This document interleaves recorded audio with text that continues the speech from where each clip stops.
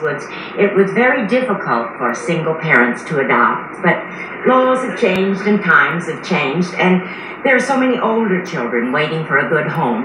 And anyway, we got such glowing reports about you, especially from Mr. Bookman, that, well, we decided that one could give just as much love as two. Thank you. Penny, I know we have so much to learn about each other, but I promise you, I love you more than any mother's ever loved a little girl. Oh, Mama.